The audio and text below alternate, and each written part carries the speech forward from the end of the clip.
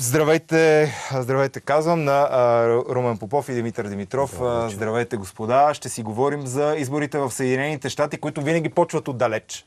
Винаги почват с едни предварителни избори, които продължават по няколко години на практика, може да кажем, тъй като а, то е буквално един сапунен, изборите в Съединените щати са буквално един сапунен сериал, а, който се влачи перманентно а, започнаха вътрешните избори на Демократическата партия или иначе казано, уважаеми зрители, кой ще бъде опонентът на Доналд Тръмп на изборите есента.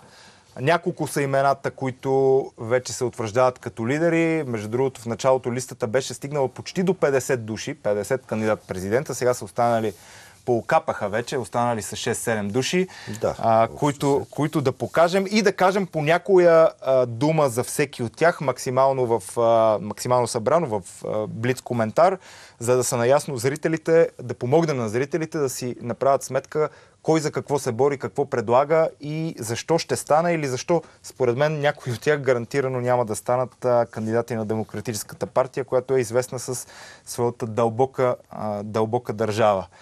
А, дайте видео 4. Всъщност в видео 4 виждате а, дебатите, които бяха, а, които бяха ин, инициирани за пореден път с останали, с останали 7 кандидати.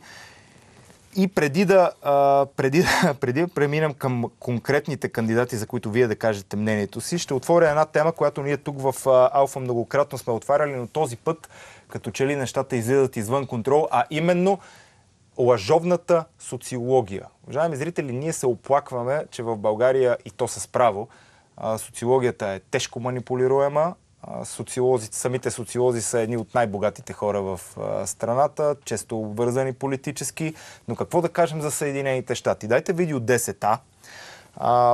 Изборите започват щат по щат в Съединените щати. Първият щат, който гласува кой да бъде кандидатът на демократите е Айова. Какво ви показвам сега? Показвам ви социологията на три различни независими една от друга социологически агенции. Кой ще спечели въпросните избори в щата Айова? Всички дават предимство на, а, на, Сандърс. на Сандърс. Да. Само, една, само една дава а, предимство на действителния победител в случая. Но по-голямата си част, даже не 3 от 4, 9 от 10 казват на първо място е Бърни Сандърс, на второ място е Джо Байден, вицето на Обама, на трето място е Елизабет Уорън, още една известна демократка и едва на четвърто място е човека, който действително спечели. Дайте, продължете кадрите. А, така че в случая говорим за изключително огромна манипулация. Огромна манипулация. На фона на предполагаемото четвърто място, този става първи. Ние сега ще кажем няколко думи какво представлява самия той. Разликата е малка между... Разликата е малка, но, но, но мястото, което му отрежаха е много различно. И да. мястото пък на този, който промотираха основно Сандърс и Байден, също е с огромна разлика. Вицето на Обама е четвърти при предполагаема а, победа от много социологически агенции. Така че по темата социология, да не се оплакваме само ние, а, очевидно в Съединените щати, които често ни бъдат, биват давани за пример за някаква а, а, автентичност и някакво разделение на власти, разделение на социология от политика. Ето виждате в, в последните избори примери. Но да започнем представянето на кандидатите един по един. А, господа, какво знаете, например, за... Дайте следващото видео номер 5. Кой е този господин? Какво знаем за него? Румене? Това е вице-президента, който беше в двата мандата на Барак Обама, Джо Байден. Човек вече доста напреднала възраст, въпреки това не го спира отново да се пробва. Той вече трети път се опитва да. всъщност да стане кандидат на Демократическата партия. Човек лишен от някакви оригинални идеи, можем да, да кажем, тъй като а, не, освен възрастово, чисто социално откъснат от а, реалността да. на американския гражданин, а, той е човек, който продължава да агитира за силна американска политика по целия свят, придържане и връщане обратно в споразумението за, за борба с вредните емисии, опазване на околната среда. Между другото, противник на една от основната кампания като цяло на демократите за универсална универсално здравеопазване за всички, което пък е основната кампания на Бърни Сандърса и на други от Демократическата партия. И в В същото време а, беше в центъра на скандала за импинчмента, който беше повдигнат Да. за Доналд Тръмп, като а, той и неговия син а, бяха замесени доста Да, да, надълбоко да, да украинския кажем за скандал. неговия син, сина на, на Джо Байден, с какво е известен, с каква прекрасна позиция се, се урежда покрай баща си. Ами сега то така и не се разбраха, той Митко може да каже нещо по този въпрос, но не се разбра реално а, м- какво е направил Тръмп, че по този начин да бъде изобличен. Въпросът е, че, че синът на Джо Байден Син- е да, синът на назначен... Джо Байден беше назначен в а, една а, Украинска. украинска корпорация, газова, съответно а, на длъжност така доста а, 50 генерираща хиляди долара на да. месец, сладка работа, просто големи печалби. Няколко думи за Джо Байден. А, няколко думи. То общо взето това е което може да се каже, но хубавото при демократите е, вие като едни видни трамписти няма да... Естествено, че няма да ме... Е, е, Опонираме. Няма да- не, ще ми опонирате, но тук въпросът е, че залагат доста повече на социалното. Значи, един вид социализъм се прокарва в Демократическата партия, което е хубаво. Дали, а, дали истински автентичния социализъм обаче не виждаме в лицето на следващия, следващия кандидат. Кой е, кой е това, Румене? Бърни сам. Това е Бърни Сандърс, Да. който Той сам себе си определя за социалист. Между за другото. демократичен социалист, За демо- той да. сам се самоопределя. Да. Интересното при него е, че на последните избори, когато всъщност Доналд Тръмп стана президент, беше доста близо до това всъщност да измести Хилари Клинтон и да стане кандидат на Демократическата партия. Някои казват и не без основание, че с манипулации всъщност Клинтон а, спечели мястото си. Ами Бърни на Сандърс се хвали като един от кандидатите, който не получава големи корпоративни дарения за своята кампания. Не получава милионите и милиарди, които изтичат Да. иначе по а, сметките на кандидати като Джо Байден и като Хилари Клинтон преди това. А, така че можем да определим и неговата загуба тогава като чисто финансова. Той изоставаше доста финансово. Предлага безплатно здравеопазване. Нечувано, невиждано. Предлага а, нисколихвени или направо безлихвени кредити за висше образование. Отново нечувано и не случвало се никога в американската история. Аз затова твърдя, че този човек едва ли ще спечели, едва ли имаш някакви шансове. Напротив. Аз мога тук да ти опонирам, защото специално а, младото поколение в Штатите, тези, които са родени около 2000-та година, са доста по-отворени на тези теми, на темите, които са за глобалното затопляне, за борбата с климатичните промени, за... Значи, общо взето, там наблюдаваме едно възраждане на социализма. Не този со- социализъм, който гледахме при СССР, но един вид се доближава до този скандинавския социализъм, Да. Който се вижда в... В, момента в Норвегия, примерно.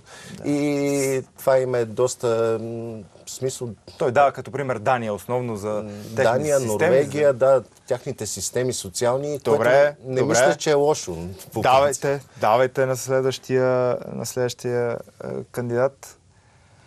Стигаме до... Е, Елизабет, Елизабет. Уорън, Елизабет Уорън, тя също е привърженик на лявото крило в а, Демократическата партия. Общо взето това са...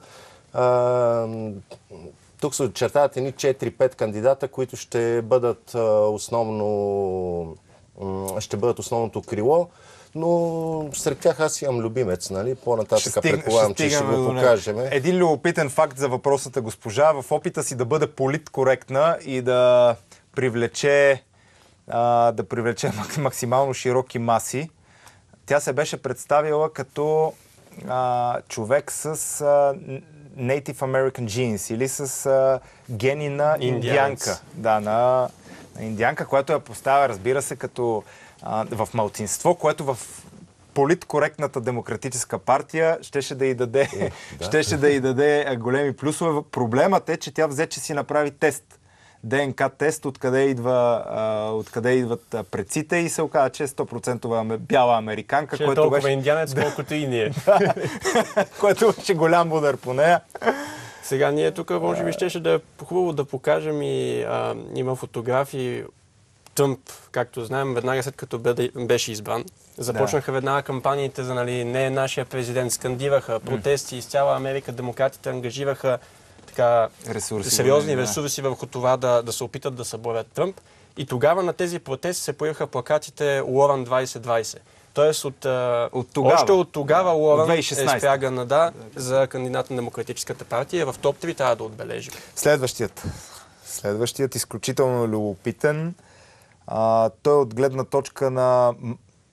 А, това е най-богатият, може би, кандидат. Да. Майкъл Блумбърг. Майкъл Блумбърг. Влезе в последния Ще дам момент. всичките си пари, за да се отървем от Тръмп. Да. Това заяви. А те са много паричките. Той влезе доста по-късно в а, цялата надпревара, така че в момента той не участва в гласуването, което беше в Айова, но ще го видим в пълната си сила в така наречения Супер супер вторник, да. който се пада на 3 март. Да, да отбележим, ние тогава ще си празнуваме естествено Така, 3 да- март, няма да Да, да видим дали парите задължително печелят гласове. Да, за момента е дал над 30 милиона, очаква се да даде около 300 милиона за рекламна кампания. кампания. Което не са всичките му пари, да кажем. Той има 56 милиарда, мисля, че беше така че там много скромно го разделя. в топ 10-ката. Като за възможностите си. Добре, следващия. Следващия всъщност големия победител от а, първите избори. А, става въпрос за... А, не, това е друг човек. Кой е това? Това е е Андрю Янг. Андрю Янг с изключително, изключително любопитно м, така, един изключително любопитен флаг на неговата кампания и обещание за какво, Румене? за това да постави човечеството на първо място. Това е едно от основните му послания. А, и едно от друго, всъщност неговия плакат, на който пише мат, нали, като математика. математика. Make America think harder. Тоест, накаря Америка да мисли повече. Какво обещава на американците, ако спечели, че ще, че ще дава всеки месец? Значи, това безспорно, според мен, е най-интересният кандидат на Демократическата партия, въпреки че е доста ниско в класациите. Не успя а, така около 1% подкрепа съба на изборите в Айова. А, но какво казва той?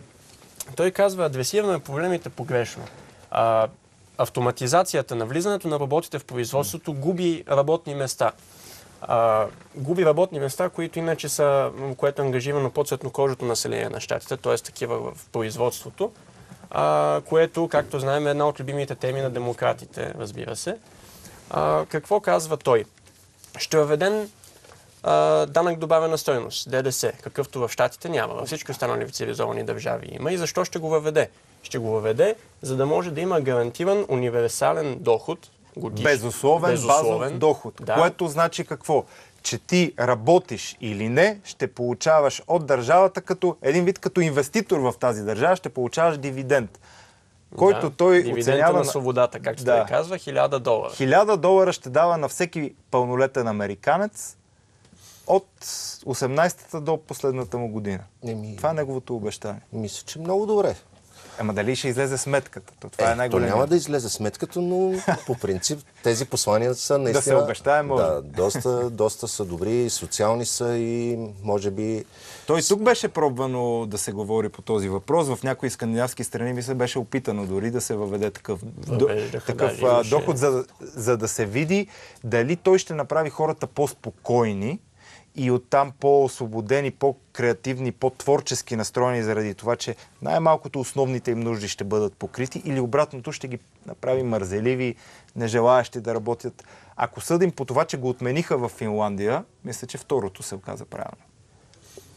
Възможно е, а може би още не сме дорасли за... Така или иначе, Андрю Янк обещава 1000 долара на всеки пълнолетен американец след 18-я му а, рожден ден, ако стане президент. Следващия. Кой е това? Това, макар че снимката не е много... не показва госпожата в пълната и прелест, това е Тулси Габърт, ако Да. виждам добре от тук. А, Да, може. Също интересен кандидат на демократите, също не с много голяма подкрепа. Интересното при нея, тя е майор от а, Хавайската гвардия, военен, а, която по-скоро набляга на външната политика Да. в своята кампания. И обещава какво? Да върне, ако не всички, то почти всички американски войници в тези над 800 военни бази, обратно в Съединените щати и разходите, които до сега е имала страната за тези над, те се мисля, над 40 хиляди войска извън територията на Съединените щати да бъдат вкарани за социални грижи. Ето отново едно хубаво послание. Да. Посланията, разбира се, могат да са много Посланията хубави. е много добре и аз, аз затова се очудвам, че подкрепяте Тръмп, а не подкрепяте демократите. Като става дума за Но кои демократи обаче? Ето тези с 0%. Да. Тя, тя обещава прекрасно, обаче хората... за- Защо не им е важно това на хората? Може би те, те не знаят какви огромни пари отиват от собствената им страна за издръжката, за хрантутничеството на всички тези десетки Но хиляди. Нека да подчертаем, че има и маса. бази по света, които примерно не се плащат Да, като нашата. като нашите, бих Като казал. нашите. Нашите, Правилно. бих подчертал. Имаме ли още колеги? Давайте. Това е. Добре. Това бяха основните кандидати. Между другото, изпуснахме, изписнахме- из- изпуснахме победителят в Айова. Да, Пит Бутиджич. Пит Бутигек, Бутиджич, да. Бутиджич. Тук има доста трудна фамилия за произнасяне, но въпросът е, че той е един от младите кандидати, 38 годишен, гей при това. Мисля, че не е лошо, че е гей, защото все пак той открито го е заявил. Даже води кампанията си със собствения си а, Приятел, ми, съпруг. съпруг, се Съпруг, води. съпруг, Съпруг, се води, но пък не е лошо. Значи, когато човек казва открито аз съм гей, абсолютно нищо лошо няма в това нещо и а, поради това, може би той спечели симпатите. А пък да, подчертаме, че той е ветеран от а, Афганистан. Да, така че може би си, си, симпатизи, симпатии ще привлече и от... И, от другите и е по-умерен в своите възгледи, нали, защото все пак при демократите Чрез знаем... неговата кандидатура няма просто да изброим броят на гейовете в Съединените щати и резултата, който Да, ще и, получи. и няма да закрива Уолл Стрит. Той, докато има такива, по принцип, а, Желание. желания от други кандидати, но той... Той- той е доста по-балансиран и мисля, че доста добро бъдеще има и а, няма да се изненадам, ако той бъде кандидат. Който и да е победителят на демократите, виждате ли го като победител срещу Доналд Тръмп? Знаем какво означава да имаш Доналд Тръмп срещу себе си. Видяхме го в битката му срещу Хилари Клинтон. То са прякори. То са а, нападки жестоки. То са м, цяла армия вече има изградена, която работи. Той като той обяви кандидатурата си от първия си ден като президент на Съединените щати обяви кандидатурата си вече за следващите избори. Тоест там се работи от много време насам. Виждате ли който и е от тези, като евентуален победител срещу Тръмп Румене? Първо видяхме, Тръмп започна кампанията си много агресивно. Първо с отговора си на процеса за импичмент, за плана си за помиряване в Палестина а, с резултата на двудържавието между Израел и Палестина. А, също и с а, по- покушението, което беше извършено върху Сулеймани. Да. А, сега, ние трябва да обърнем малко внимание и защо Тръмп по принцип спечели. Защо Тръмп победи демократите при положение, че всички социологически агенции тогава показваха, че Тръмп ще бъде възглавен, че Хилари Клинтон със сигурност ще е президент. А, има различни послания от страна на републиканците в лицето на Доналд Тръмп и от страна на демократите по принцип в цялостната им цялост. Сега, ако гледаме дебата, който беше сега в Нью Хемпшир, адресира се отново към нуждите на цветнокожите младсинства, към проблемите на хомосексуалистите, LGBT, Да. комюнитито и така нататък. На малцинствата, не на обикновения Не работещ... на обикновения работещ бял американец. Защото а, дори Андрю Янг, който ние тук споменахме, а, обсъжда проблема с това, видите ли, а, съотношението между богатството на тъмнокожото население на щатите, афроамериканците, към богатството на бялото население на щатите било 10 към 1. Тоест, а, полза на, на бялото население. Обаче пропуска да уточни, че все пак а, чистото чернокожо население на щатите е 12% за сметка на 73% бели американци. Тоест, а, горе-долу пропорционална е тази разлика. Добре, а, господа, благодаря ви. А, Благодаря ви. Ще следим вътрешните избори в Демократическата партия. Ще ви информираме как вървят.